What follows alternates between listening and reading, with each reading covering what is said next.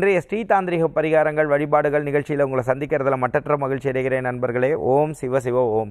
இன்னைக்கு நம்ம பார்க்கக்கூடிய தலைப்பு என்ன அப்படின்னு சொன்னால் இந்த தொழில் முன்னேற்றம் சம்பந்தமான விஷயங்கள். அதே மாதிரி தொழிலில் ஏதோ ஒரு பிரச்சனை நடந்துட்டுருக்கு. தொழில்னா நாட் ஒன்லி பிஸ்னஸ்ங்க இப்போ நீங்கள் செய்யக்கூடிய வேலையாக இருக்கலாம். நீங்கள் செய்யக்கூடிய கடமை. வேலைன்னா தொழில்னா என்ன? படிக்க படிக்கிற குழந்தைங்களுக்கு படிப்பு தான் தொழில். அதே மாதிரி நல்ல வேலைக்கு போயிட்டுருக்கீங்கன்னா அதான் உங்கள் தொழில். இந்த மாதிரி வச்சுக்கணும் நீங்கள் இந்த மாதிரி விஷயங்களில் ஒரு தங்கு தடைகள் இருந்துகிட்டே இருக்குது அதில் ஒரு சுபிட்சமே இல்லாத தன்மை இருந்துகிட்டே இருக்குது ஏதோ ஒன்று ஒன்று மாற்றி ஒன்று மாற்றி டிரான்ஸ்ஃபர்ஸோ ஏதோ ஒரு விஷயங்கள் நடந்துகிட்டே இருக்குது இந்த மாதிரி ஒரு பிரச்சனையில் இருந்துகிட்டே இருக்கீங்க தொழில் சம்மந்தமான இப்போ நான் சொன்ன விஷயங்களில் ஏதோ ஒரு இக்கு ஒரு இக்காவே இருக்குன்னு வச்சுக்கோங்க. படித்து முடிச்சிட்டேன். வேலையே கிடைக்காம இருக்குது இந்த மாதிரி விஷயங்களில் இருக்கிறவங்க உங்களுக்கு அந்த விஷயத்தை கத்தே கொடுத்துட்றேன் இதில் நீங்கள் என்ன புரிஞ்சுக்கணும் அப்படின்னா லக்னத்திலேருந்து உங்கள் ஃபஸ்ட்டு உங்கள் நேட்டல் சார்ட் எடுத்துக்கோங்க பர்த் சார்ட்டை எடுத்து வச்சுக்கோங்க. இந்த ஜோதிடம் அப்படிங்கிறது வந்து ஜோதியை காட்டி திடம் கொடுக்குறதே ஜோதிடம் சரியா? அப்போ அந்த சார்ட் எடுத்து வச்சுக்கோங்க. அதில் லக்னம்னு போட்டிருக்கோம். லக்னத்துலேருந்து லக்னத்தையும் ஒன்றா கனெக்ட் பண்ணிவிட்டு one two three four five six seven eight nine ten அந்த டென்த் ஹவுஸ் எடுத்துருங்க. டென்த் ஹவுஸில் என்ன பிளானட் இருக்குன்னு பாருங்கள் அந்த பிளானட்டு எந்த வீடுன்னு பாருங்கள் ஒருவேளை நீங்கள் மேஷ லக்னமாக இருக்கீங்கன்னா அதுலேருந்து நீங்கள் கவுண்ட் பண்ணி பார்த்தீங்கன்னா என்ன வீடு வரும்? உங்களுக்கு மகர வீடு வரும். அந்த மகர வீடுக்கு யார் அதிபதி? சனீஸ்வர பகவான். அப்போ அந்த வீடுக்கு சனீஸ்வர பகவான்னா டேரெக்டாக சனீஸ்வர பகவானை கும்பிடக்கூடாது. அப்போ அந்த சனீஸ்வர பகவான் யாரை கும்பிடுறார்? சனீஸ்வர பகவான் குருவாக நினச்சி கும்பிட்றது யார்? சனீஸ்வர பகவானோட குரு யார்? காலபைரவர். அப்போ அந்த காலபைரவரோட வழிபாடு பண்ணிக்கலாம். சரி சனீஸ்வர பகவானுக்கு யார் ஈஸ்வரன் பட்டம் கொடுத்தா? சிவபெருமான். அப்போ சிவபெருமானோட வழிபாடு பண்ணிக்கலாம். சரி நான்லாம் வந்து சைவ வழிபாடுலாம் எனக்கு நம்பிக்கையே இல்லைங்க. நான் வைணவ வழிபாடு தான் பண்ணுவேன். யாரை கும்பிடணும்? ஆஞ்சநேயர். ஏன்? சனீஸ்வர பகவானுக்கு வந்து அவர் கட்டு போட்டிருக்கும் போது ராவணன் வந்து மந்திரக்கட்டு போட்டு இலங்கையில் வச்சிருக்கும் போது அவர் அந்த மந்திரக்கட்டை கா காப்பாற்றி வெளியே கொண்டு வந்தது யார்? ஆஞ்சநேயர். அப்போ அவர் யார்? என்ன சத்தியம் பண்ணி கொடுத்தார்? ஆஞ்சநேயருக்கு நம்ம சத்தியம் வேணால் சில நேரத்தில் போய் விட்டுருவோம். பட் ஆஞ்சநேயர் என்ன ச- சத்தியம் பண்ணார்னா ஆஞ்சநேயர்கிட்ட யாரெல்லாம் உங்களை வழிபடுறாங்களோ அவங்கள நான் ரொம்ப துன்புறுத்த மாட்டேன் அப்படின்னு சொல்லி சனீஸ்வர பகவானே சத்தியம் பண்ணியிருக்கறனால அந்த சத்தியவானே சத்தியம் பண்ணியிருக்கிறதுனால ஆஞ்சநேயரையும் நீங்கள் வழிபடலாம். அப்போது இது ஒரு பக்கம். இதோட சேர்த்து அந்த அதில் ஒரு வேளை பிளானட் வந்து யாரோ இருக்காங்கன்னு வச்சுக்கோங்க. அதுலேயே சூரியனே இருக்காருன்னு வச்சுக்கோங்களேன். அப்போ அந்த சூரியன் இருந்தால் என்ன பண்ணுங்கள் அந்த பிளானட்டோட வழிபாடு என்ன? சிவபெருமான் இல்லைன்னா ஸ்ரீராமச்சந்திரமூர்த்தி. அதோட சேர்ந்து இன்னொரு பிளானட் இருக்காங்க. ஒருவேளை புதனே இருக்காங்கன்னு வச்சுக்கோங்களேன். அப்போ புதனுக்கு யார்? பெருமாள். அதோட சேர்த்து சிவபெருமான். இந்த வழிபாடெல்லாம் ஒரு அஞ்சு நிமிஷம் பத்து நிமிஷம் கும்பிட்டா போதும். இதுக்காக நீங்கள் உருகி தருகி பத்து ஒரு பத்து மணி நேரம் நான் பூஜை செஞ்சேன்னா உங்கள் வேலையே போயிடும். அதனால நீங்கள் என்ன செய்யணும்? பத்து நிமிஷம். கார்த்தால நேரத்தில் எந்திரிக்கிறீங்களா? இதுக்குன்னு ஒரு டைம் ஸ்பெண்ட் பண்ணுங்கள் ஒரு டென் மினிட்ஸ் உட்காருங்க. விளக்கேற்றி வைங்க. உங்களுக்கு விநாயகர் பெருமானை வழிபடுங்க. அதே மாதிரி உங்கள் குலதெய்வம். எந்த தெய்வத்தை நீங்கள் வழிபட்டாலும் குலதெய்வ வழிபாடு இல்லைன்னா அந்த வீடு அவ்வளோ சிறப்பாக இருக்கிறது இல்லை. அப்படிங்கும்போது உங்கள் குலசாமியை கும்பிட்டுட்டு அதுக்கப்புறமா இந்த பாவத்துக்குள்ளே அந்த தொழில் பாவத்துக்குள்ளே அந்த கட்டத்தை தெரிஞ்சுட்டு அதுக்குள்ளே வழிபாடை ஒரு பத்து நிமிஷம் பண்ணுங்கள் இதுக்காக நீங்கள் எல்லா பாவத்தையும் டெய்லி பண்ணணுமா?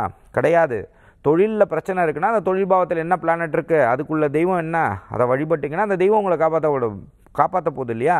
ஒரு மனுஷனை நம்பி நீங்கள் ஏமாந்து போகிறத விட தெய்வத்தை நம்புறவங்க ஏமாந்தே போக மாட்டாங்க. நீங்கள் புரிஞ்சுக்கணும். அதை நீங்கள் ஆணித்தனமாக புரிஞ்சுக்கோங்க. ஏதோ ஒரு ரூபத்தில் தெய்வ மனுஷ ரூபேனாங்கிற முறையில் ஏதோ ஒரு ரூபத்தில் உங்களை காப்பாற்றிடும் சுவாமி. அதனால அந்த தெய்வத்தை வழிபட்டுட்டு அதுக்கப்புறமா நீங்கள் என்ன செய்யுங்க அதில் நட்சத்திர சாரம்னு ஒன்று ட்ராவல் ஆகும். சில ஜோதிடர்கள் சொல்லுவாங்க இது ஒரு தேர்ட்டி பர்சன்ட் தான் வேலை செய்யணும். பட் நட்சத்திரத்துக்குன்னு ஒரு தன்மை உண்டு. அப்படிங்கும் பொழுது நீங்கள் என்ன புரிஞ்சுக்கணும்னா அந்த பிளானட் வந்து அந்த இருக்கக்கூடிய பிளானட் எந்த நட்சத்திரத்தில் வருதுன்னு பக்கத்தில் பார்த்தீங்கன்னா நட்சத்திர சார பிளான் அதுன்னு இருக்கும். தட் இஸ் லைக் அந்த சாரம்னு இருக்கும். அதில் போயிட்டு அது என்ன டிகிரியில் இருக்குதுன்னு பார்த்துட்டு அதுக்கு என்ன பிளானட்டோ அந்த பிளானட்டுக்குள்ள தெய்வம் என்னவோ அதையும் ஒரு ரெண்டு நிமிஷம் நின்று மனசார கும்பிட்டுட்டு இறைவா நீ தான் என்னை காப்பாற்றணும் நீ தான் ஜெயிக்க வைக்கணும். அவ்வளோதான் இதை நீங்கள் கும்பிட்டுட்டு நீங்கள் தாராளமாக உங்கள் வேலைகளை பார்த்துட்ருங்க இதை நீங்கள் செய்யும் பொழுது தடைகள் வந்து விலகும். இதை நீங்கள் எத்தனை தடவை செய்யணும்? அந்த தடைகள் விலகிற வரைக்கும் நீங்கள் செஞ்சீங்கன்னா மிக உத்தமம் அன்பர்களே. அதோட சேர்த்து நீங்கள் என்ன செய்யுங்க? தாந்திரிக ரீதியான விஷயங்கள் நீங்கள் சரி செய்யணும். என்ன பண்ணணும்? நீங்கள் என்ன பண்ணுங்கள் அப்படின்னா சனிக்கிழமைகளில் விடாமல் நீங்கள் செய்ய வேண்டியது ஃபஸ்ட்டு நீங்கள் என்ன செய்யுங்கன்னா நல்லெண்ணெய் எடுத்துக்கோங்க. செக்காட்னா நல்லெண்ணெய். இந்த நெல் நல்லெண்ணெய் எடுத்துட்டு தலையை ஒரு இருபத்தேழு தடவை சுற்றணும் இருபத்தேழு தடவை கிளாக் வைஸில் மட்டும்தான் சுற்றணும் இதை சுற்றிட்டு என்ன பண்ணுங்க அப்படின்னா பக்கத்தில் இருக்கக்கூடிய கால பைரவரோட கோயிலில் போயிட்டு இதை நான் ஒரு பரிகாரமாக கொடுக்குறேன் அப்படின்னு சொல்லிட்டு அங்கே பூஜை பண்ணுறவங்க கையில் கொடுத்துடணும் அதே மாதிரி ஒரு அன்பான நேயர்களுக்கு நான் சொல்கிறேன் தயவு செஞ்சு இந்த விஷயத்தை இப்போ நான் சொல்கிற விஷயத்தை வந்து உங்களுக்கு தெரிஞ்சவங்கள்ட்ட போய் கொடுக்காதீங்க. அது மகா பாவம். சில பேர் கொடுக்க சொல்கிறாங்க அது செய்யாதீங்க. கோயிலில் ஏன் செய்யுங்கன்னு சொல்கிறேன்னா ஏன்னா உங்களுடைய கர்ம வினைகளை கொண்டு போய் அடுத்தவங்களுக்கு திணிக்கக்கூடாது. அதுவும் பாவமே. சரிங்களா? அதனால நீங்கள் என்ன பண்ணக்கூடாதுன்னா இந்த மாதிரி விஷயங்களுக்கு வரும்போது கோயிலில் நீங்கள் கொடுக்கும் பொழுது அது என்ன ஆகும்னா அது வேறு மாதிரி போயிடும் சரியா? அதனால் அவங்களுக்கும் பாதிப்பு வராது. ஏன்னா அவங்களோட கர்மாவே அதுதான் சரியா? அதனால் அதை நீங்கள் கொண்டு போய் கொடுத்துட்டு செக்காட்டின நல்லெண்ணெயே கொடுத்துடலாம். இதுவும் நீங்கள் தொடர்ந்து செய்யும் பொழுது இதில் என்ன சொல்லப்படுது? தாந்திரிக ரீதியான என்ன சொல்லப்படுதுன்னா ஏழு வாரங்கள் இதை நீங்கள் செய்தீங்க அப்படின்னு சொல்லி சொன்னாலே தொழில் சம்பந்தமான பிரச்சனைகள் அந்த முந்நூற்றி அறுபத்தி நாலு நாள் அந்த பிரச்சனை இருக்காது அப்படின்னு சொல்லப்படுதுங்க. இதையும் நீங்கள் செஞ்சு பாருங்கள் இதோடு சேர்த்து இங்கே இன்னொரு விஷயம் என்ன செய்யலாம் அப்படின்னு பார்த்தீங்கன்னா வீட்டில் இருக்கும்பொழுது டர்காய்ஸ் கலர் டர்காய்ஸ்னால் ஒரு வகையான ப்ளூ நெட்டில் போட்டு பாருங்கள் டர்காய்ஸ்னு போட்டு பாருங்கள் அந்த கலர் ப்ளூவோ இல்லைன்னா கருநீல துணி எடுத்து வச்சுக்கிறது. இதில் நீங்கள் என்ன பண்ணுங்கள் தலையை இருபத்தேழு தடவை காலையில் சனிக்கிழமை சனிக்கிழமை ஆறு டு ஏழு மதியம் ஒன்று டு ரெண்டு நைட்டு எட்டு டு ஒம்பது இந்த காலங்களில் உங்களால் முடிஞ்ச காசை எடுத்து தலையை இருபத்தேழு தடவை தலையை சுற்றிட்டு இதில் போட்டுட்டே வாங்க. இதில் போட்டுட்டே வந்துட்டு மாற்றுத்திறனாளிகளுக்கு இந்த பணம் சேர்ந்ததுக்கப்புறமா மாற்றுத்திறனாளிகளை சந்தோஷப்படுத்துங்க. இந்த மாற்றுத்திறனாளிகளை நீங்கள் எவ்வளோக்கு எவ்வளோ நீங்கள் சந்தோஷப்படுத்துகிறீங்களோ அவ்வளோக்கு அவ்வளோ உங்கள் தொழில் நல்லா இருக்கும். இது சத்தியம். இது செஞ்சு பாருங்கள் இது உங்களை ஜெயிக்க வைக்கும் அன்பர்களே. ஒருவேளை நீங்கள் நல்லா கோடீஸ்வரராக இருக்கீங்க. இந்த நிகழ்ச்சியை பார்க்குறவங்க நல்லா இருக்கீங்களா? யாருக்காவது முடியாதவங்க கை கால் முடியாதவங்களுக்கு ஒரு வாக்கிங் ஸ்டிக் வாங்கி கொடுங்க. இல்லை ஒரு வீல் சேர் வாங்கி கொடுங்க. நம்மள்ட்ட நூறுரூவா இருந்ததுன்னா அடுத்தவங்களுக்கு பத்து ரூபா கொடுத்து பழகுங்க. அதுவும் நீங்கள் குறிப்பாக சனிக்கிழமைகளில் கொடுத்து பாருங்கள் கொடுத்து கொடுத்து நீங்கள் பண்ணக்கூடிய இதெல்லாம் வந்து சனிக்கிழமைங்கிறது ரொம்ப பவர்ஃபுல்லான டே புரிஞ்சுக்கோங்க. அப்போ அந்த காலங்களில் நீங்கள் செஞ்சு செஞ்சு வரும்பொழுது நல்ல மாற்றம் கொடுக்கும். வழிபாடு ரீதியாக ஏதாவது சொல்லிக் கொடுங்க அப்படின்னு கேட்டால் கிராம தேவதா வழிபாடு கருப்பசாமியோட வழிபாடு மாடசாமியோட வழிபாடு இந்த மாதிரி வழிபாடுகளை இரவு நேரத்தில் செய்யணும். அந்த இரவு நேர வழிபாடுகள் செஞ்சுட்டு அதுக்கு பிடிச்ச மாதிரி நீங்கள் சைவ பூஜை பண்ணணும்னா சைவ பூஜை பண்ணுங்க அசைவ பூஜை பண்ணணும்னா அசைவ பூஜை பண்ணுங்க இதெல்லாம் உங்களோட விருப்பங்க.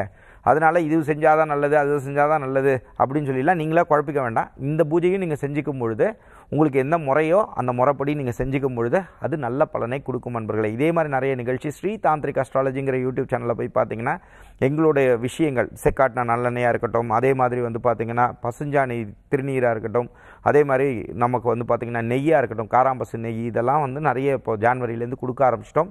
அதை நீங்கள் பணம் கொடுக்கும் பட்சத்தில் அதையும் நீங்கள் வாங்கிக்கலாம். அதே மாதிரி பஞ்சாங்க கேலண்டரும் சரி பானலிங்கமும் இலவசமாக தான் தரும். சென்னை திருச்சியில் நேராக வந்து வாங்கிக்கலாம். அப்படி இருக்கும்போது போஸ்டல் சார்ஜஸ் கொடுக்கும் பட்சத்தில் உங்கள் வீடு தேடி அனுப்பிச்சி வச்சுருவோம் நண்பர்களே. நாளை மற்றும் ஒரு நிகழ்ச்சியுடன் உங்களை சந்திக்கும் வரை உங்களிடமிருந்து வணக்கம் கூறி விடைபெறுவது உங்கள் விஜய் சேத்து நாராயணன் நன்றி வணக்கம். ஓம் சிவ சிவ ஓம்.